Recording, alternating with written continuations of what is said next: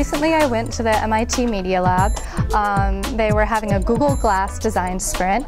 It was an opportunity to check out Google Glass and it was presented by Google and it was free and you just able to sign up online and learn about their new Google Glass technology.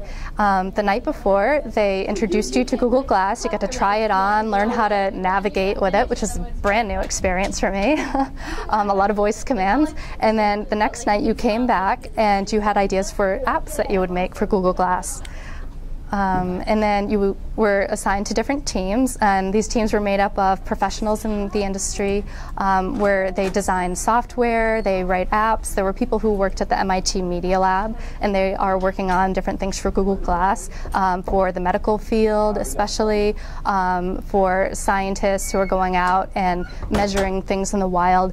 And Google was really um, pushing Glass to be something that you can use hands free and you use to interact with the world around you versus um, a computer or a phone where you're interacting with what's on the computer or the phone. So it's a 3D experience. Um, so once I got to the MIT Media Lab for the design sprint, we met up with our team. They gave a quick presentation on what the capabilities of Glass were um, and how we were going to design the interface for it.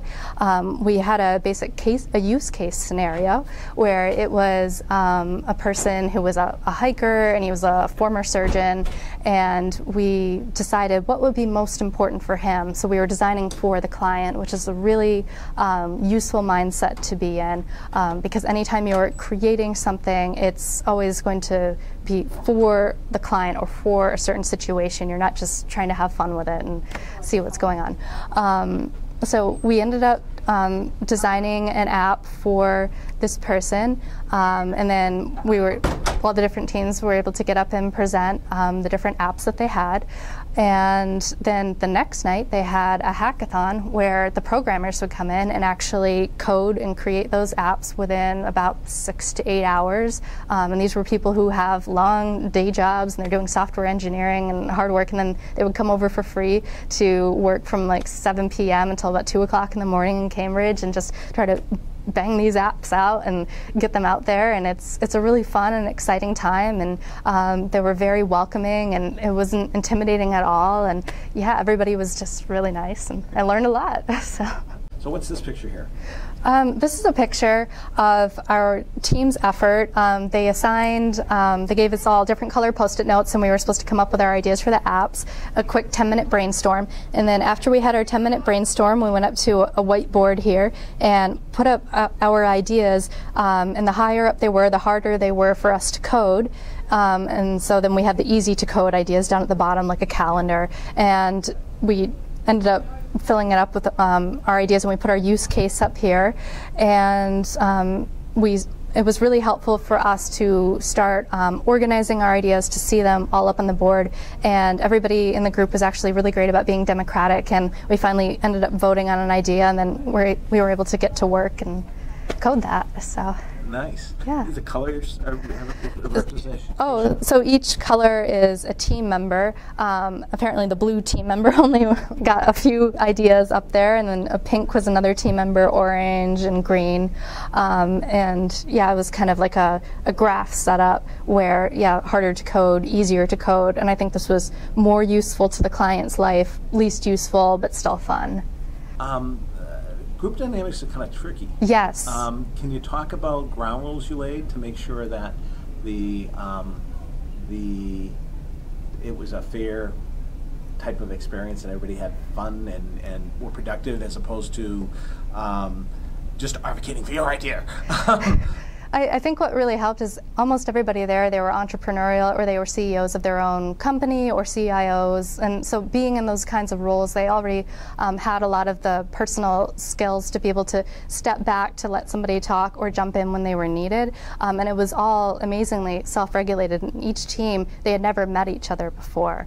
Um, and they were all people from different fields who had just signed up and were now working together very quickly. Um, one thing that was very helpful though is um, the Google people team up there is they gave us each only maybe like five or ten minutes to do something where normally you would want about maybe an hour to do like okay come up with you know 20 ideas for an app. You have literally you know five minutes to do it and you're just racing because you're so focused on the task. You're not going to be you know, getting in trouble with the other people. And then when it came time to um, put stuff up on the board and decide what ideas we were doing the group really uh, naturally self-selected by personality and one or two people really became the leaders and they just kind of it naturally flowed in that direction some people stepped back a little bit and then other people would advocate for their ideas but there was just um, I, I, think there was just a general enjoyment that we were just at the media lab. We're all just having a fun time, and nobody was uh, overly aggressive. And it was just um, that baseline of respect just made everything really smooth. You don't have to wait for somebody to tell you that you are allowed to do something in some cases, like if it's illegal, obviously, you know, you can't do it. But um, there were many things where I wish I knew about things like meetup groups from meetup.com. You can sign up. You don't have to be 21 years old for many of them. And a high school student could have gone to this Google Glass thing. It's totally fine. There's so much out there in the world that you can participate in, and nobody is going to ask you to do it, but you can offer your interest in it and you might actually be invited. There are so many fun things out there in the world, and you don't have to wait for somebody to ask you to do it. Taking your own initiative with your parents' permission um, can be exhilarating and you get out of your comfort zone. It can be a little scary, but when you overcome those fears and you go out to a meetup group for something at Google, a high school student would be allowed to do that with their parents' permission. And it's amazing. You could even take your parent with you if they were, were interested in going. And a lot of these events are free. There's so much out there um, in the world for you to explore. And I would say if you're worried about being intimidated by, oh, are there going to be business people here and they won't want me there, especially what I've seen in the tech scene in Cambridge and Boston, it's very, very welcoming. And if you have the enthusiasm and you're working on your own apps and maybe you're using something like Team Treehouse or Codecademy and you're learning your own code, um, get out there. You know, people just, they love the enthusiasm. They love to see that you um, have your own mindset and that you um, are willing to work on a project without somebody telling you you have to do this project. That more than anything is what is going to get you further out in life. Having that intellectual curiosity and acting on it, um, being respectful towards other people, obviously, but you know, just constantly pushing yourself forward and yeah, overcoming any um, nerves you have, get up and give a talk somewhere um, at any of these meetups. You really can do that. It, it, just it feels like,